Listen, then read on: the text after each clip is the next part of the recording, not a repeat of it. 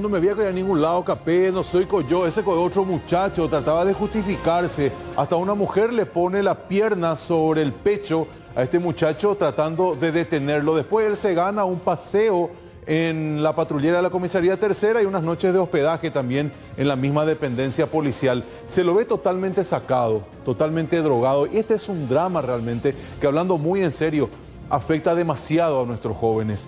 Capaz no se dé cuenta de lo que está ocurriendo, capaz no dimensione lo que está haciendo porque ella está cegado por las ganas de consumir esa droga que lo saca totalmente fuera de la realidad. Ha de tener una familia, papá, mamá, hermanos, parientes que se preocupan por él y que hoy al ver esta situación evidentemente dicen, ¿qué hacen las autoridades con respecto a esto?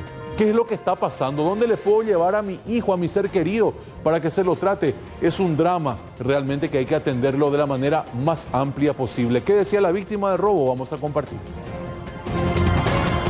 mi cosa, mi pertenencia personal y mis cascos y mi termo en el hospital de Duque. ¿Qué, fue lo que estaba, ¿Qué fue lo que pasó? ¿Qué estaba haciendo en ese momento? En realidad, mi, tengo mi hermano ahí internado eh, y dormí un rato en realidad para descansar y en cuestión de eso me robaron mis cosas, mi pertenecido. ¿Te despertaste y ya no encontraste sí, nada? ya me desperté y ya no encontré más nada. Y hice mi denuncia acá en la comisaría. Por eso. ¿Pudiste identificar a esta persona? ¿Le pudieron ver? Sí, pudimos ver por la cámara, tenía kepi, tapabocas y todo eso. pero su cara no se ve bien, pero eh, pudimos identificar si es alto, de estatura así, ya identificamos. ¿En un momento de descuido fue esta situación, Juan? Así mismo es un momento de descuido, señor, un momento de descuido. ¿Te llevó tu mochila, me dijiste? Mochila, mi pertenencia, eh, mi pertenencia eh, personal que está ahí, mi, mi, remera, todo eso, mi casco y mi termo también. Estaba fundamental para Así mismo es un elemento fundamental para mí, porque ya estaba como ahí, tengo que tomar agua, todo eso, ¿verdad? Y me perjudicó bastante en el día. Ahora, eh, hoy también se dio un hecho o un intento de robo en el mismo lugar. Exactamente, sí, sí, así mismo es. Eh, entró el tipo, yo le miraba y tenía cada sospechoso y le seguimos. Yo mismo me fui, me arregué y le seguí al tipo. Y después entró en una, en una habitación, como se dice, como en un hospital y ahí sacaron un termo. Y ahí le dije, le pregunté, ¿vos sos de otro porque ya está internado? Le dije, y ahí me miró y corrió. Corrió nosotros y vinimos todos atrás de ellos, todo lo que estaba en el hospital, porque hay, hay robos, los, siempre me cuentan los muchachos, hoy por ejemplo nos contaron que el lunes, el domingo y el sábado había robo de celular y todo eso. Esta es la triste realidad que afecta al hospital de Luque. Ni siquiera podés descansar porque en Ñemoí es queja lo mitad de Mongué. ¿Qué está pasando, Raúl? Adelante. Y es en esta parte de urgencia, Marcelo, donde ocurren más hechos. Así es lo que ocurre muchas veces. Un familiar que de repente se olvida de su teléfono aquí en la silla, va con el apuro de que su paciente ya tiene que eh, recibir un remedio, que tiene que tener informes, se olvida muchas veces de esta forma los celulares en el asiento y una vez que ya vuelve para buscar, muchas veces ya no encuentra y no solamente celulares, sino que vamos a escuchar el testimonio de una señora acá que eh, decía ayer también no solo celulares que se llevaron. Sí, se llevó también unas cuantas, cuantas cosas de una señora que iba a tener bebé al mediodía. Se llevó ropita, casco, todo mochila que estaba en el pasillo.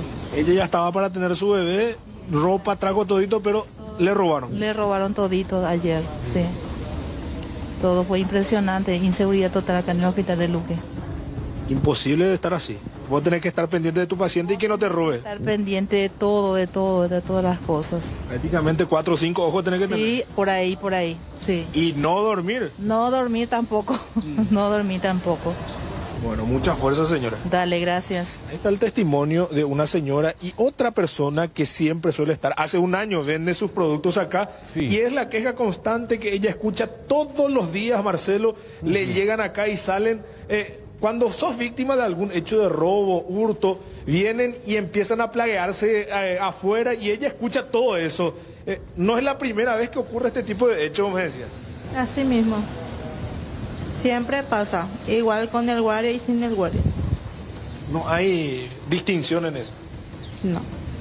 Siempre vienen personas a llevar celulares y lo que sea, lo que encuentren. Moto, auto, lo que sea. Moto también se lleva. Sí. Siempre. Bueno, ahí está el testimonio también de una persona vendedora acá que está siempre frente al hospital de Luque que dice que se llevan motos, autos. Escuchábamos a la señora que decía que se llevaron todo lo que es para el parto de una mujer, ya tenía todo preparado, su ropa para el bebé y sin embargo se llevaron todo eso. Eh, también celulares. Y hay un detalle muy importante, Marcelo, acá en el hospital de Luque, que el 20 de julio opala contrato de los guardias privados. Aproximadamente 15 personas se encargaban de la seguridad privada acá del hospital de Luque, pero sin embargo ahora no hay ningún guardia. El hospital designó a tres personas que trabajan aquí eh, para que puedan hacer de manera paliativa eh, el recorrido, para que de esa manera puedan evitar los hechos de hurtos o robos, pero sin embargo es muy poco eso. Vamos a escuchar lo que decía también el director Luis Verón. Adelante. Y ahora estamos utilizando, digamos, los recursos del hospital. Tenemos, digamos, gente que, que estuvieron en, ese, en esa área.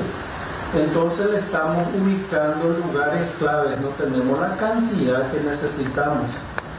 Eh, acá un hospital grande, esto se necesita por lo menos 10 guardias, 12, 13 guardias que puedan cubrir todo el hospital pero tenemos guardias en algunos lugares claves como urgencia, también en otros lugares, no con cantidad, poca cantidad, pero con eso estamos tratando. Y aproximadamente tenemos dos, tres que nos están cubriendo, que están dando Bien, lo que está manifestando, o lo que manifestaba un poco más temprano, el director del hospital de Luque, eh, Raúl, la gente quiere seguridad de por y la plata. ¿Cuál podría ser la solución en la consulta? Pues estamos hablando de un predio de varias hectáreas que tiene varias entradas y salidas, en donde evidentemente el delincuente puede tener un parque de diversiones si quiere también. Sí, acá tenemos a un señor que vamos a proteger su identidad. También decías, es muy inseguro acá, especialmente en la noche. Sí, es muy inseguro, especialmente en la noche. Tiene, tienen que haber una, eh, una seguridad porque la verdad es que es muy inseguro, es muy inseguro. Antes había gente que, estaba en eso, pero ahora ya no queda nadie ya, ya, ya no hay nadie ya. Es difícil. Es, muy difícil. Es muy difícil porque uno tiene a un, a un familiar y encima que tiene que cuidarlo a él, se tiene que cuidar uno. Es muy, es muy complicado, es muy complicado.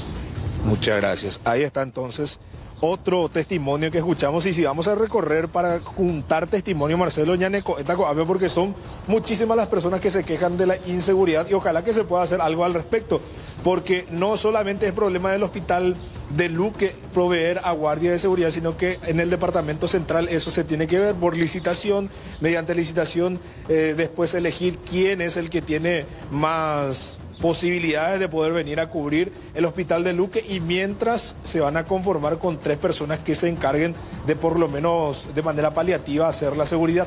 Exactamente, así es que los delincuentes tienen todavía mucho tiempo de sobra para operar lastimosamente. Gracias Raúl.